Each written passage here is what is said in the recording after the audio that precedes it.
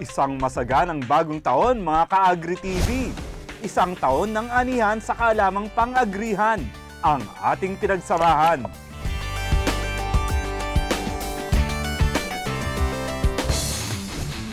Kaya naman sa pagbubukas ng bagong taon, siksik ang mga hatid naming kaalamang pang-agrikultura.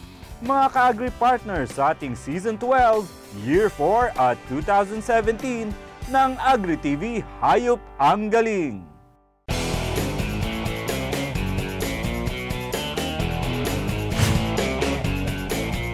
Rural Bank Solano was established under Republic Act 720. Ito ay isang batas na nag encourage ng pagtatayo ng mga bangko, mga rural banks all over the countryside. Sa akin po muling pagsisimula sa pagbababuyan, eh, nakakilala po kami ni Mr. Joji Angeles.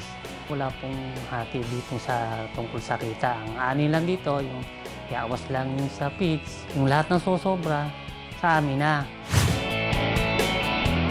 Labing pitong taong gulong pa lang, ay nagtatanim na po ako ng gulay. Tatanim po kami ng sitaw, okra, kamatis. Ano bang mga sintomas ng anorexia?